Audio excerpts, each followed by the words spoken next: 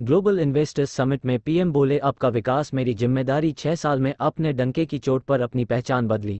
मोदी लखनऊ, प्रधानमंत्री नरेंद्र मोदी ने शुक्रवार को उत्तर प्रदेश की राजधानी लखनऊ में देश दुनिया से आए दस हज़ार निवेशकों के सामने राज्य में हुए बदलावों की तस्वीर रखी। मोदी ने यूपी के बनारस से सांसद के तर पर निवेशकों का स्वागत किया और कहा कि यूपी का विकास मेरी ज़िम्मेदारी है। मोदी ने कहा कि एक दौर था जब हर कोई यूपी से उम्मीद छोड़ चुका था, लेकिन पिछले पाँच छह सालों में यूपी ने डंके की चोट पर अपनी पहचान वली है।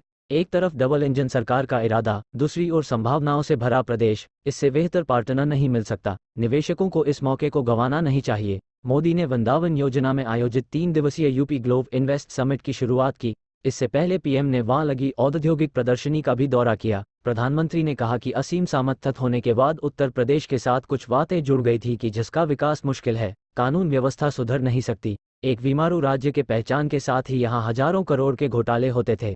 आज, सुशासन, बेहतर कानून व्यवस्था शांति स्थिरता यूपी की पहचान बन चुकी है। भारत दुनिया के लिए ड्राइव स्यॉट है तो आज यूपी भारत के ग्रोथ को ड्राइव करने वाला नेतृत्व दे रहा है। अब यह आशा उम्मीद का केंद्र बन चुका है। हर नागरिक ज़्यादा से ज़्यादा विकास होते देखना चाहता है। T R E N D I N G N E W U S Dawoodi Bohra मुस्लिम कौन है? जिनसे मिल रहे मोदी, दाऊदी बेहरा मुस्लिमों से मिल क्या पचहत्तर हज़ार करोड़ रिलायंस समूह जियो, रिटेल व शेऊज में चार सालों में निवेश करेगा हज़ार करोड़ सीमेंट?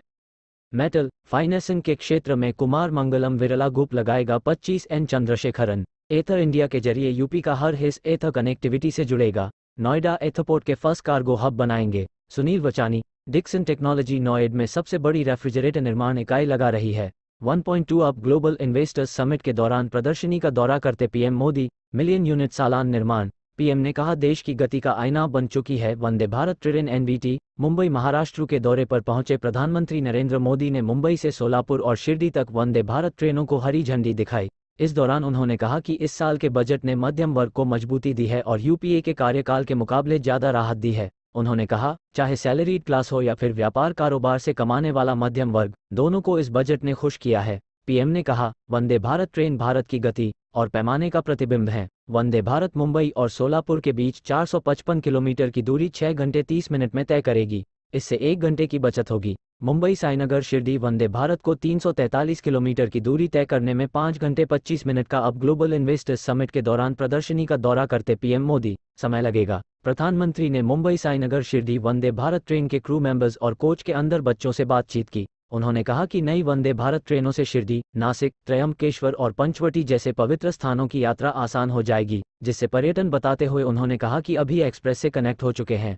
के साथ साथ तीर्थ यात्रा को भी बढ़ावा मिलेगा। वंदे भारत ट्रेन के आज के भारत की उन्नत तस्वीर तक 10 ऐसी ट्रेन देश भर में चलनी शुरू हो चुकी हैं, तथा आज देश के 17 राज्यों के 108 ज़िले वंदे भारत